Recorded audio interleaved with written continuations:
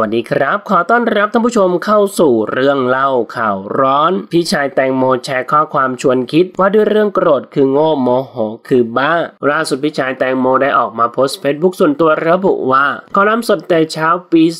234 โกรธคือโง่โมโหคือบ้า อย่าให้จิตใจของเจ้าโกรธเร็ว เพราะความโกรธฝังอยู่ในทรวงอกของคนเขาปัญญาจันทร์บทที่ 7 ข้อที่ 9 TSSV 11 Don't be too quick to get angry because anger lives in the fool's heart มีเรื่องเล่าว่าในขณะที่ชายคนหนึ่งกำลังขับรถไปตามถนน ก็พอดีมีผู้หญิงคนหนึ่งขับรถสวนมา ในจังหวะที่รถสวนกันนั้น หญิงสาวผู้นั้นก็เปิดกระจกรถแล้วตะโกนใส่เขาว่าควาย ชายคนนั้นรู้สึกฉุนจัดเขาจึงเปิดกระจกและหันหลังมองไปยังรถของหญิงสาวที่เพิ่งผ่านไปแล้วตะโกนด่าสวนกลับไปว่าอีบ้า และนั่นคือสิ่งสุดท้ายที่เขาจำได้ก่อนสติของเขาจะดับวูบไป เกิดอะไรขึ้นกับผมชายหนุ่มคนดังกล่าวถามพยาบาลที่เขาพบ เมื่อเขากลับคืนสติขึ้นมาพยาบาลตอบเขาว่า คุณขับรถชนควายบนถนนค่ะ พี่น้องที่รักสิ่งที่เราพึงตระหนัก และสังวรไว้เสมอก็คือ 1. เราควรมีความอดกลั้น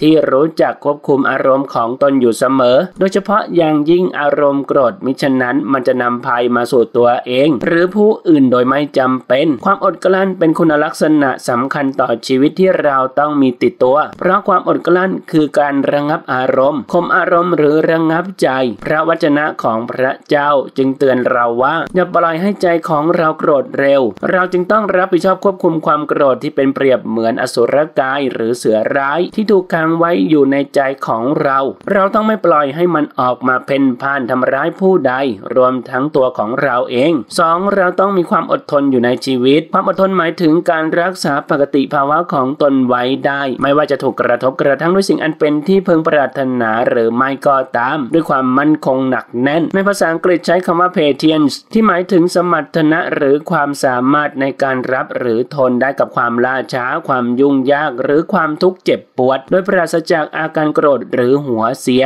the capacity to accept or tolerate delay trouble or suffering without getting angry or upset บางทีภาษาไทยก็ใช้คำว่าขันติหมายความถึง 1. ความอดกลั้นต่อสิ่งที่ไม่พอใจ รวมทั้งความทุกข์ทรมานที่เกิดขึ้น และ 2. ความอดทนต่อสิ่งต่างๆ โดยไม่หวั่นไหวเพื่อให้บรรลุเป้าหมายที่ดีงาม เราจึงควรมีความอดทนและความอดกลั้นทั้งหนึ่งทางกาย 1. อดทนต่อสภาพของปัจจัยความร้อนหรือความเย็น 2. อดทนต่อความทุกขเวทนาของร่างกายเมื่อเจ็บป่วย ทางวาจา 1. อดทนต่อคำดูหมิน 2. อดทนต่อคำวิพากษ์วิจารณ์ 3. อดทนต่อคำกล่าวหาหรือตัดสิน ทางใจ 1. อดทนต่อความโลภ 2. อดทนต่อความโกรธ 3. อดทนต่อความหลง บางคนก็แยกแยะความต่าง ระหว่างความอดทนกับความอดกลั้นไว้ว่า 1. ความอดทนหมายถึงการระงับอารมณ์และความรู้สึกที่มีต่อผลจากปัจจัยภายนอกหรือภายในด้วยจิตที่เข้มแข็ง 2. ความอดกลั้นหมายถึงการระงับ หรือการควบคุมกิริยาหรือการกระทำอันมาจากปัจจัยภายนอกหรือปัจจัยภายใน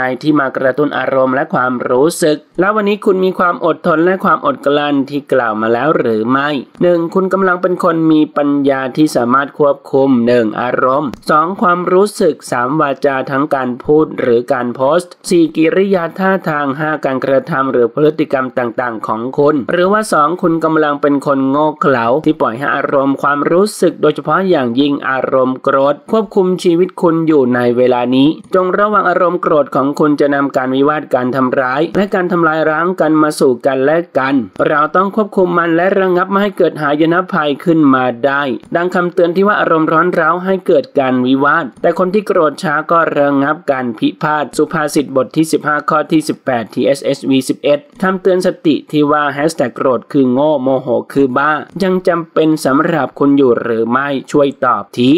ท่านผู้ชมนะครับ มีความคิดเห็นอย่างไรกับเรื่องนี้ลองแสดงความคิดเห็นกันเข้ามาดูนะครับ ขอขอบคุณข้อมูลจากที่นี่ .com ขอบคุณครับ